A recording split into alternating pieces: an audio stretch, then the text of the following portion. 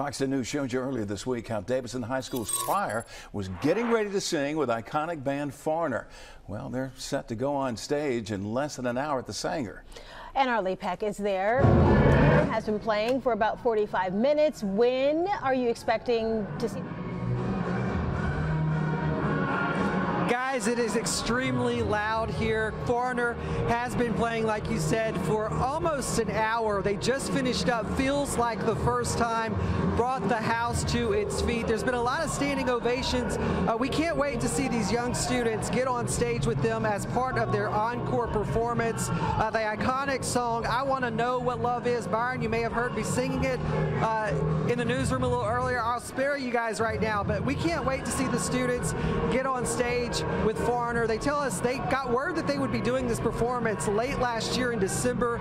They've been practicing ever since. They say nerves are high tonight, as you can imagine. Uh, we'll hear from them in a bit. We also caught up with Bass player, Jeff Pilson, who says uh, he's excited about the collaboration with the young students. He also talked about uh, giving back. They donated $500 to Davidson High School's choir program. Take a listen.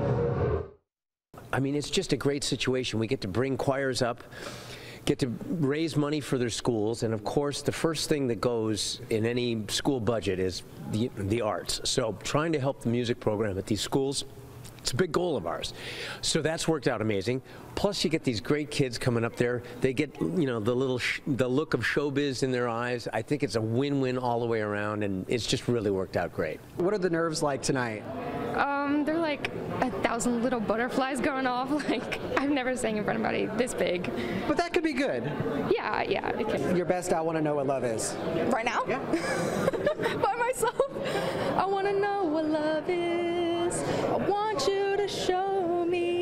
We've got a really good group of students here and they all know what they're doing, so we pulled it together pretty quickly.